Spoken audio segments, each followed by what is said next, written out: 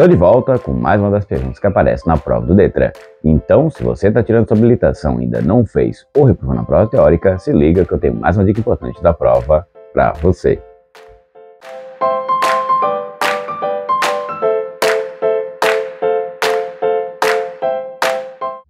Fala pessoal, sou Adriano, instrutor de trânsito e esse é o Blitz da Prova. Vamos lá para mais uma das perguntas que aparece na prova do Detran.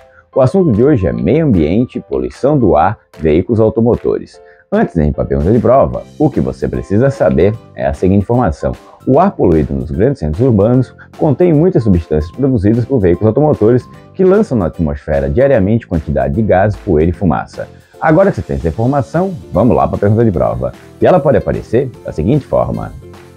Nos grandes centros urbanos, os principais causadores da poluição do ar são Alternativa A fala as usinas termoelétricas. Alternativa B, as queimadas.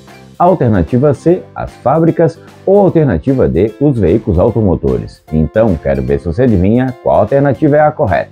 Deixa nos comentários que eu digo se está certo ou errado. Se você gostou já, deixa seu like, se inscreve no canal e compartilha esse vídeo. Esse é o Blitz da Prova. Tudo o que você precisa saber para se dar bem na prova do Detran. Até a próxima aula!